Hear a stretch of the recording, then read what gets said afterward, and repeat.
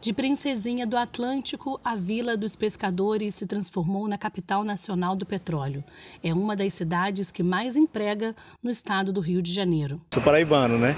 Então vim para Macaé, é uma época que minha tia me chamou para eu vir para cá a, a, trabalho e acabei que eu me identifiquei muito com a cidade, com o trabalho. E hoje eu estou em Macaé, já tem 19 anos que eu que eu estou nessa cidade que eu me acolheu. Sou macaense, nascida e criada, é difícil, a gente quase não encontra macaense aqui, mas todo mundo que chega ama a cidade.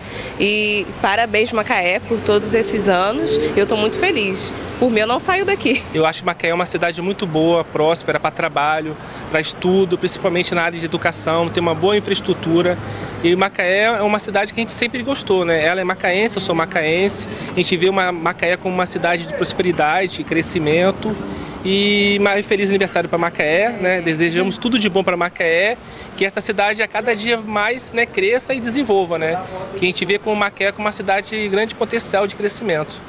Macaé, no norte fluminense, está em festa pelos 211 anos da cidade. As comemorações começaram na quinta-feira e encerra hoje com o show de João Gomes no Parque de Exposições Latife Mussi Rocha. A Cidade das Oportunidades é palco ainda da segunda edição da Feira de Economia do Mar, com conferências sobre óleo, gás e energia, naval, esporte na praia e gastronomia. E nesta segunda-feira, pela manhã, aconteceu o tradicional desfile cívico e Também fez parte das comemorações pelos 211 anos de Macaé, o 13º Festival Colírios Internacional, um movimento artístico que reuniu vários artistas nacionais e internacionais.